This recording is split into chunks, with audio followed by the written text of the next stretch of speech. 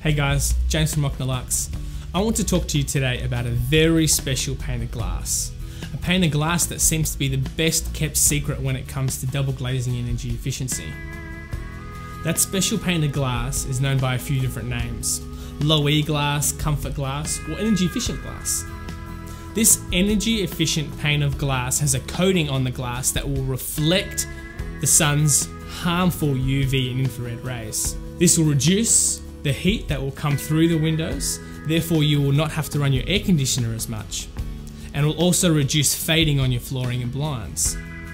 Results show that one single pane of 4mm low E glass can outperform two panes of standard glass in a double glaze system. It is essential to have energy efficient glass when considering double glazing.